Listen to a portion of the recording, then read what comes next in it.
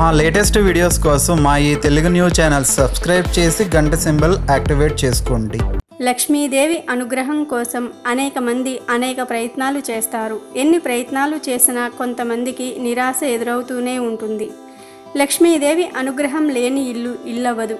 ఎందుకంటే లక్ష్మీదేవి ధనప్రాప్తి కలగజేయటమే కాకుండా మనకు సంతోషాన్ని అఖండ ఐశ్వర్యాన్ని సిరి సంపదలను శ్రీ మహాలక్ష్మి అందిస్తుంది.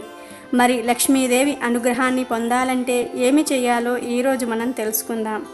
లక్ష్మీదేవికి బియ్యంతో పూజ చేసి అందులో కొంచెం బియ్యాన్ని విడిగా తీయాలి ఇలా చేయటం వలన ఆర్థిక ఇబ్బందులు తొలగిపోతాయి. ధన ప్రాప్తి కలుగుతుంది.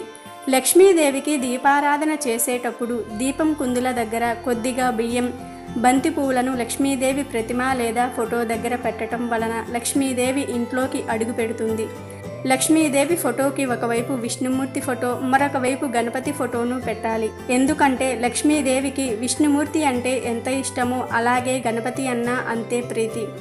అందువల్ల పూజ సమయంలో ఈ ఫోటోలను పూజించటం వలన లక్ష్మీదేవి అనుగ్రహంతో ఐశ్వర్యవంతులవుతారు. వీడియో నచ్చితే లైక్ చేయండి షేర్ చేయండి బట్ సబ్స్క్రైబ్ చేసుకోవడం మర్చిపోవద్దు.